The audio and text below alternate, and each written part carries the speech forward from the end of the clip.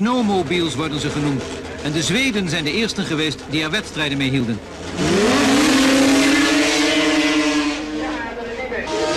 Nederland heeft er voor het eerst mee kennis kunnen maken tijdens wedstrijden op de kunstijsbaan in Assen. Waarbij er nogal eens een paar uit de bocht vlogen. Dan gaat het zijn voor korte tijd op rood om de coureurs af te voeren, waarna een nieuwe rit van start gaat. Voor deze introductieraces was een team van Zweedse coureurs naar Assen gekomen.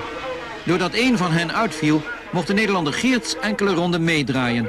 Maar hem ontbrak het nog aan de nodige ervaring. Als in 1980 de eerste wereldkampioenschappen georganiseerd worden, zullen de Zweden wel op het erepodium komen. Net als nu in Assen.